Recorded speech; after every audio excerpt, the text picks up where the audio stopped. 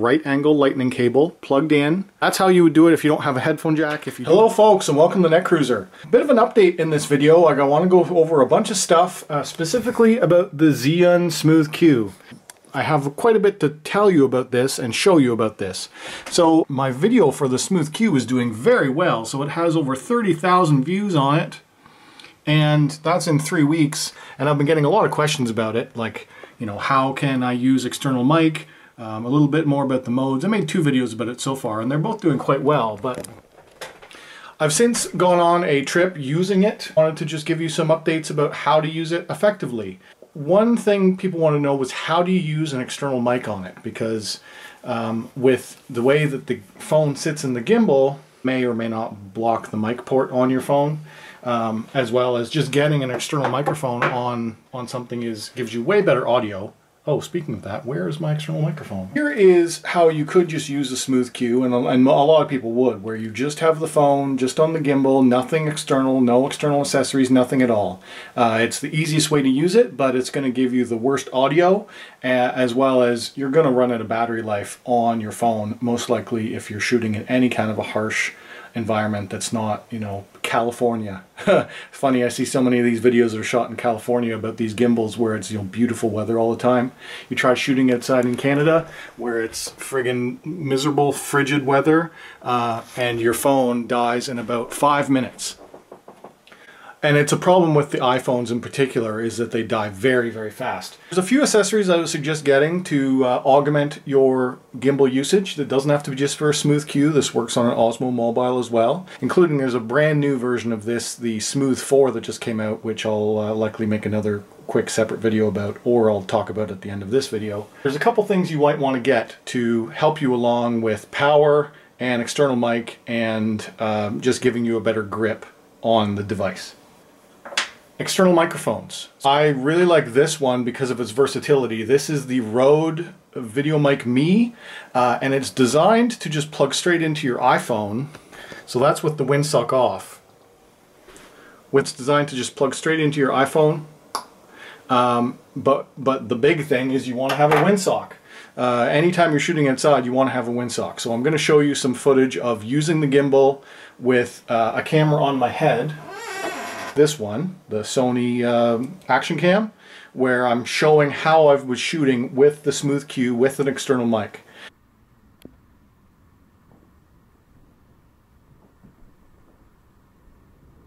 But you have to realize that when you're using a microphone, there's two different types of aux cable. The smartphones use what's called a TRRS, which has the three lines in it, and that works fine for smartphones and that is exactly what this is designed for. So this has the three lines on it, so it's a TRRS. Now hook up a male to female TRRS cable of significant length. Uh, and then what I do is I plug this end into the microphone, I plug this end into the phone on the gimbal, and uh, I'll just set this up and I'll show you how I make that work. As well as I'm always running the windsock. Now if you see this little pigtail here, this is a Rode SC3. This is a TRRS to TRS adapter, and that's why I suggest going this route where you have the VideoMic Me, is because this is TRRS, and you can adapt it from TRRS to TRS. Without this cable, I can use this mic on smartphones, smart devices, and with this cable, I can use it on my action cam or any camera that has a microphone input. So that allows me to use this one microphone for everything that I have. If you ever want to use this microphone on a non-smartphone device, you need to be able to adapt it to TRS. So that's just something nerdy that you maybe didn't know is that not all aux cables are the same. Uh, and this you can most likely cannot find a TRRS extension lead like this in a store. Go on Amazon. I'll provide links for all of the stuff that I'm showing in this video on Amazon so you can find it and buy it. Let me throw this on a tripod because that is the best, one of the nice features about the Smooth Q is it has the quarter inch jack. So I'm going to throw it on a tripod just so I can hook up the mic and wiring and show you how that works. Uh, this is the Smooth Q on a tripod with the microphone clamped on to the little tripod arm. Because the VideoMic Me has this little phone clip, it allows you to clip it onto things. So I typically wouldn't run this kind of a setup, but if you were going to have it in like a static uh, tripod environment, this totally works. I've got the cabling plugged into the phone here. Now I'm using an iPhone 6s that is the last iPhone that has a headphone jack. This makes it easier than a lot of new phones. Uh, hopefully if you have an Android phone or some other phone that has a headphone jack, whether it be on the bottom or the top, it would not be straight in the middle where you might have interference. The problem you run into, let me just turn this gimbal on for a second. The problem that you might run into is if you don't have a headphone jack style phone, then you only have the lightning plug or the USB-C or micro USB type cable um, coming out and you have to adapt it. So what you would need for that is you need to have a right angle adapter. Now this one is USB-C, so if I had something like a Pixel phone that only has a USB-C connection, Pixel 2 I think they, they killed off the headphone jack. So I would need to run my USB adapter and then I could have my headphone jack adapted off. Get a 90 degree adapter, either USB-C or lightning or whatever type of thing your phone uses if you do not have a normal headphone jack. Uh, and then that would adapt out to a, to a TRRS. You would need to, probably your phone came with an adapter, a dongle that is like USB-C to a headphone and then you'd be able to run this same cabling. That's how you would do it if you don't have a headphone jack. If you do have a phone with a headphone jack, it makes it a hell of a lot easier because then with my phone I can run power and headphone jack. Um, so I suggest if you're going to buy a phone specifically for doing videoing to get one that still has a headphone jack. So here's an LG G6. It has a USB-C connection but it also still has a traditional headphone jack on the top. So I can run power and a mic at the same time. Because like I said, the biggest problem, that the biggest flaw that I found with these type of devices is the battery in the phone the battery in the phone will die extremely fast. So let me show you my little fix for that. Use a right angled lightning cable or a right angled USB-C cable. I'll be able to plug this end into the gimbal because these new gimbals have power out and I'll just have this cable plugged into my iPhone at the same time. I have tested this real world. Uh, I posted an Instagram story about that when I was doing a motion time lapse so, uh, I haven't balanced it again, but this is with the power cable, a right angle lightning cable plugged in with my headphone jack plugged in for mic. So this is, we're getting to almost the, you know, the holy grail of setup here where it can do everything that you need and plugging the phone into the gimbal, uh, running the gimbal with a mic. You could do this all simultaneously while mobile. It would totally work. It still has a pretty good range of motion. Like you don't really have to worry about it getting snagged up unless you're doing circles with it. Uh, and most of the time you're not. So it still gives me pretty much a full range of motion, even with the cables plugged in. The biggest takeaways is get a right angle adapter, uh, either a cable or um, female to male to female of whatever type of phone you have, as well as then you need a TRRS cable, the Rode VideoMic Me, a tripod, or when I'm actually out shooting in the wild, I really like using this. And this is the Joby Action Arm, I think, Action Clamp, Action Arm, something like that. This has the quarter inch tripod jack on it, so you can have it on the bottom. This clamp, which is meant for clamping onto a pole and stuff, I clamp this onto the microphone basically running it in something like this type of an orientation with this tripod screw pointing straight up where I can have the mic either on the top or the bottom if I'm holding it upside down. I'll show you some clips of how I've done that in real life.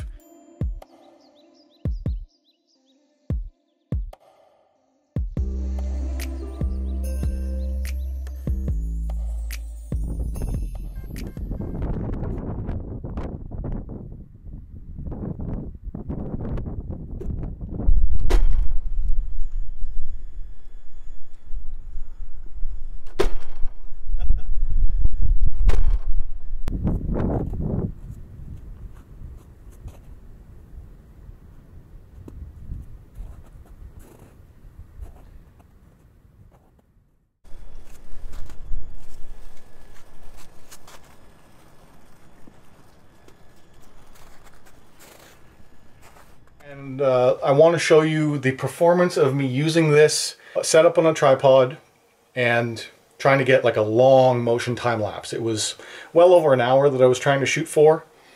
My phone kept dying, um, so then I was trying to scramble around and try and find a way to power it. So I did use this cabling through the gimbal and I tried powering on the gimbal at the same time. So I had power running into the gimbal, power going through the phone. Then my gimbal was actually running out of power too because I didn't have any of the stuff pre-charged. It was bad planning on my part. I had been using it that weekend already.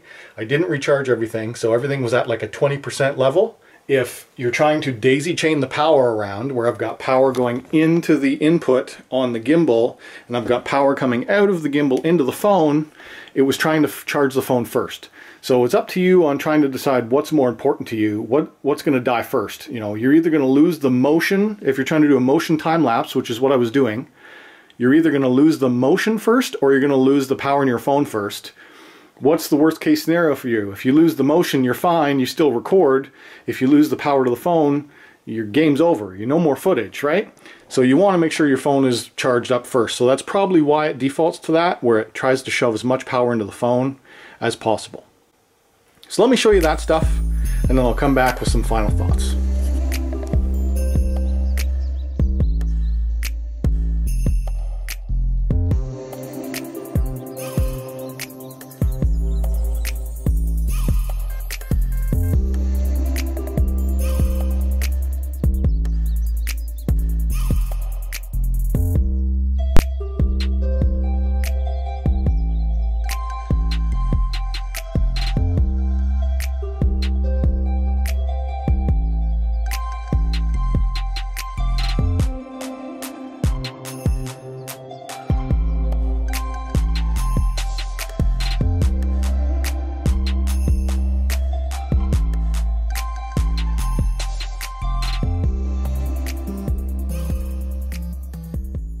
All right, some final points about this type of a setup is that you have some choices when it comes to the app you're using.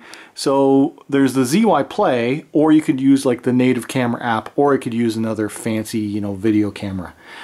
ZY Play gives you the most options of how to configure the gimbal and all that stuff that you would want to be able to do. The problem that I found with ZY, ZY Play is that if the phone does shut off in the middle of recording, your footage is lost. The app size gets larger, but there's no way to recover the footage. I ran into that problem last year with the DJI Osmo. And with the Osmo, there was a recovery folder where I was able to get in there and, and recover the footage, but not so much with ZY Play. So be aware of that. I also ran into some issues with ZY Play where uh, the exposure gets a little bit messed up, as well as I ran into an issue where when I was shooting with this app, it lost audio sync. So even on an iPhone, it's not great. It's not 100%. So I have had some issues. If you want to do the motion time lapse and stuff, you have to use their app and it's great for that.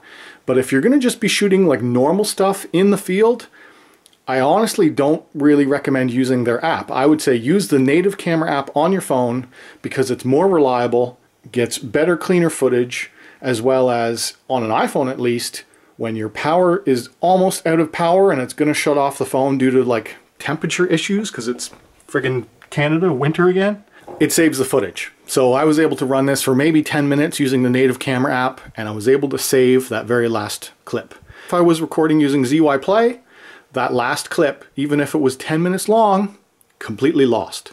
So be careful about that. If you're gonna use ZY Play, make sure your phone is charged up. Uh, I appreciate all the views on that first video and I'm hoping that this one can, can help you guys out. If you enjoyed this or helped you, hit that like button. If you're not a subscriber, please subscribe. Hit the notification bell if you haven't already because I upload new videos all the time and I want to be able to show you the new stuff that's coming out as well as thank you for watching. Take care.